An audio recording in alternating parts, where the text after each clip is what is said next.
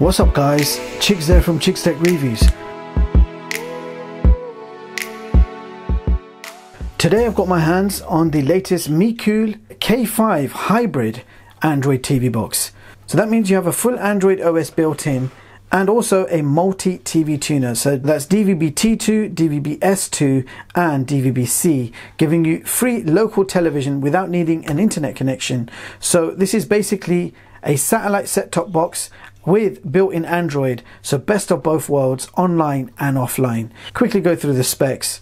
Now this box is powered by the S905X3 quad-core CPU along with the Mali G3 You've got 2 gigs of LPDDR3 RAM, 16 gigs of internal storage, dual band Wi-Fi AC with 2 times 2 MIMO, so you've got dual Wi-Fi antennas. This has Bluetooth 4.2, 100 megabyte LAN. You've got built-in multi-TV tuners, this supports PVR functions so you can record directly to USB. You've got full Android version 9 Pie, supports HDMI version 2.0, supports 4K HDR at 60 frames per second, apparently supports HDR 10 Plus and 5.1 surround sound. Inside the box, you will get a user manual, HDMI cable, a power supply and the voltage is 12 watts, 1 amp. You're also getting a full featured remote control with lots of features here like PVR, EPG, volume control, play, pause, skip, etc. Now this remote control is powered by two AAA batteries and it is a standard infrared remote control. So here it is made from plastic. You've got this K design on the front, Mecool logo, physical power button. On the front there is nothing. On the side there is nothing. On the back you've got your TV tuners, both DVB-T2, DVB-S2 and you've got a CVBS port 100 megabyte LAN, HDMI out, your optical audio, power socket, and if we keep going, you've got a micro SD card slot, USB 2, USB 3, and that brings us back to the front. And this is what the bottom of the box looks like. So without any further ado, let's get this all hooked up to my TV and capture card and find out exactly how good it really is. I'll be right back. So first of all, I ran a boot up speed test, and this TV box took 40 seconds to fully load the home screen from a cold start. And here is the Mecool trademark home screen, which I've not seen in quite a while. So you have the local time at the top right. First row is for your favorite apps, and you can fit eight of your favorite apps at any one time. Bottom shortcuts are all fixed. Now if we head over to the main system settings, go to device preferences and check out the system storage info, you will see that this box has 16 gigs of internal storage from which you have 11 gigs free to use.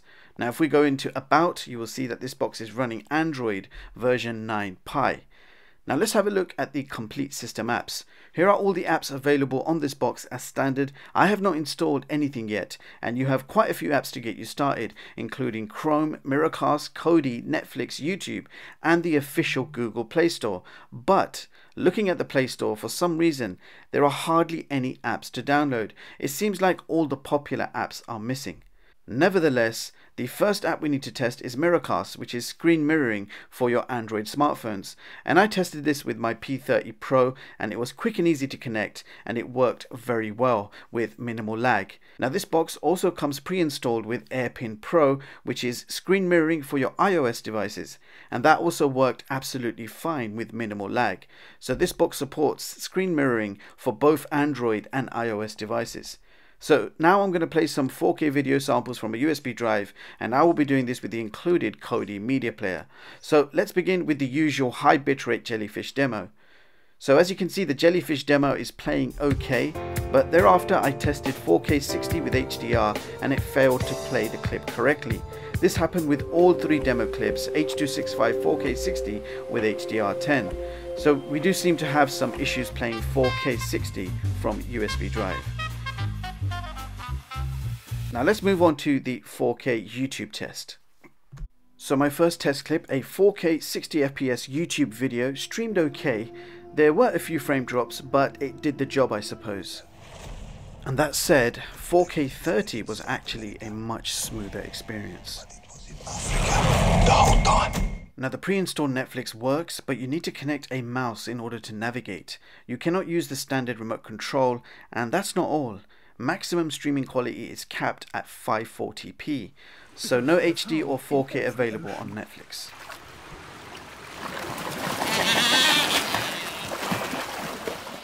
Now as the Play Store has none of the apps which I usually use for my tests, I had to sideload them all and this includes Amazon Prime, CPU-Z, DRM Info and many more.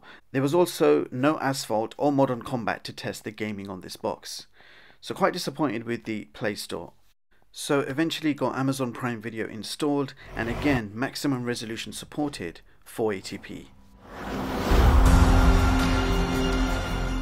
And I also noticed another app store available. I opened it up and guess what guys, it was completely blank. So it does seem like this box has a lot of flaws. And now for the moment for this box to redeem itself with its free offline TV feature. So I connected my TV antenna to the box, opened up the DTV app, followed the on-screen instructions to auto scan the channels, and I was momentarily quite excited to see so many channels being picked up. Um, I believe it picked up around 99 channels and 33 radio channels, including HD channels. But whilst the channels appeared to play fine, the talking was not in sync. And we had a lot of freezing and stuttering going on, and these were SD channels. I, am like so bad.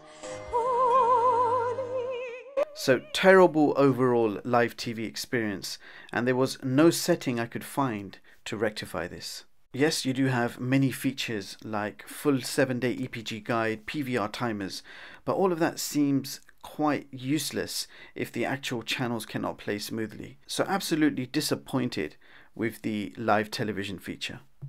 Now, for you advanced users, DRM info shows Google Widevine level 3 and here is CPU-Z where you can check out the clock speeds and you can see we're running the Mali G31. This box is running Android version 9 and does not come rooted as standard. In the internal disk speed test we achieved 75 megabytes per second read and 15 megabytes per second write. So there you have it guys, that was the new Mecool K5 hybrid Android TV box. So you can see my pros and cons. This box is probably one of the worst TV boxes I have tested this year. I did not even bother with the gaming test or the benchmark test. This box is totally not worth the price. Even with the S905X3 which is one of my favorite chips of this year, this box failed to perform as it should. Now I believe the reason is the RAM, 2 gigs of inferior DDR3 RAM is just not enough. It makes this box struggle with every single task. If they just added one more gig of RAM or used DDR4 RAM, this would have been a totally different story. I don't know what manufacturers are thinking or doing, but it seems like this is a massive step backwards and a huge shame. Um, it makes me think that did they even QC this box? Was this box even tested by the company? I just hope none of you have bought this box already. There are much better TV boxes out there in this price range or even less and I will link them for you in the description box for your convenience. Thank you so much for watching. Do hit the like button if you like my honest reviews. If you've already bought this box, let me know your thoughts in the comments. Did you experience the same as me? Meanwhile, I hope you found this video useful. Thank you so much for watching and I hope you all have a brilliant day. I'll see you guys in the next one.